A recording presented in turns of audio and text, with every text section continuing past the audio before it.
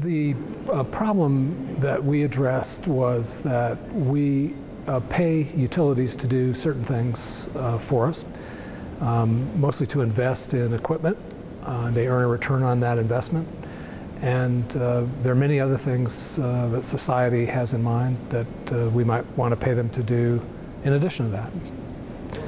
So we've come up with some ideas for how to change the business model for utilities so that uh, they meet more of society's needs, meet more of what customers want, um, and uh, are more reliable, and uh, their rates are more predictable uh, over time.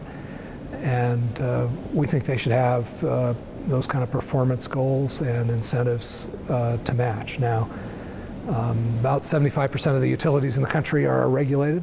Um, about 75% of the utility service in the country is regulated by state uh, commission regulators, which I used to be.